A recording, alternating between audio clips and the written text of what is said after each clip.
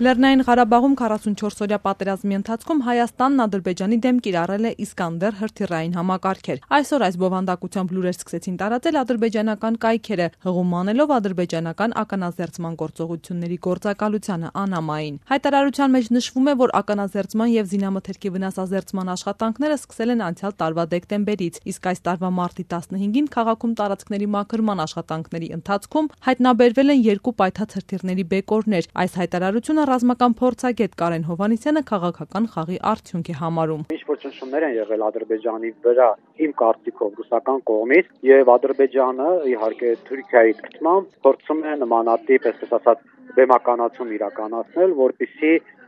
հակաճնշում գործադրի Ռուսաստանի վրա ինչ որ հարցերի, այսպես կոմպրոմիսի գալու համար։ Իսկանդերի կիրառման մասին առաջինը ակնարկել էր զինված ուժերի գլխավոր շտաբի նախկին պետ Մովսես Հակոբյանը, որից հետո Հայաստանի երրորդ նախագահ Սերժ Սարգսյանը խոսեց, ով նախ մեղադրեց իշխանություններին, որ այն պատերազմի հենց առաջին օրերին չի կիրառել, հետո էլ նշեց, որ ունի հավաստի տեղեկություններ, որ Իսկանդերը կիրառվել է պատերազմի վերջին շրջանում եւ Շուշիի ուղությամբ։ Այս հայտարարությանը հաջորդեց վարչապետ Նիկոլ Փաշինյանի պատասխանը հարցի տեսքով։ Իսկ գուցե պատասխանեն, ինչու կրակած Իսկանդերը չի պայթել կամ պայթել է օրինակ 10%-ով։ Դրանից հետո ռուսական կողմը հերքեց Հայաստանի ներկա ու նախկին ղեկավարների ասածն ու հայտարարեց, որ վերջին պատերազմում ռուսական արտադրության Իսկանդեր հրթիռային համակարգերը չեն կիրառվել եւ կիրառման մասին պնդում արած վարչապետ Նիկոլ Փաշինյանին հավանաբար մոլորության մեջ են գցել։ Այս տեսակետը հաստատեց նաեւ պաշտոնական Ադրբեջանը նախագահի մակարդակով։ Դեռևս արձագանք չկա ճիշտ ասած ռուսական կողմից։ Ես ֆոտոգրաֆից արդեն պատկերացնում եմ եւ գիտեմ թե ինչպիսի արձագանք է լինելու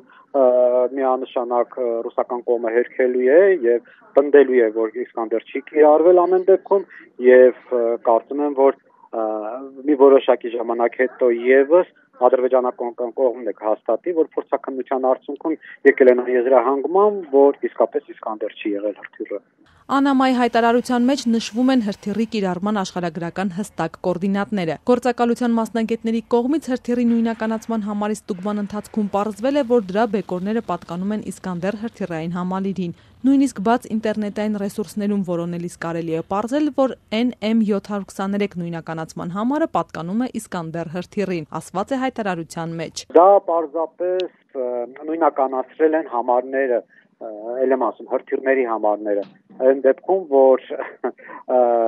ոչ մեկ չգիտի թե ինչ հրթիռ, ինչ համարի հրթիռ է բացի ռուսական կողմից, ոչ մեկ չգիտի ինչ համարի հրթիռ է հայկական կողմում։ Պետք է ինքը անցնի փորձակնություն, որպեսզի հասկանան դա կասետային է, դա սմերջ է, դա չգիտեմ, Իսկանդեր է, ինչ է իրականում, որ քանի տոկոսով է պայթած եւ այլն եւ այլն։ Այն, որ սա քայլ է ուղված ռուսական կողմին, ըստ քաղաքագետ Ստեփան Գրիգորյանի Ադրբեջանի նպատակներից մեկն է միայն։ Ադրբեջանը այս կերպ փորձում է կոտրել նաեւ այն ալիքը, որ կա միջազգային հանրության կողմից ի աջակցություն Հայաստանի։ Խոսքը Միացյալ Նահանգների եւ Եվրամիության կողմից հնչող մեղադրանքների մասին է, ուղված Ադրբեջանին պատերազմը սկսելու եւ գերիներին չվերադարձնելու համար։ Ես տեսնում եմ, որ Ադրբեջանը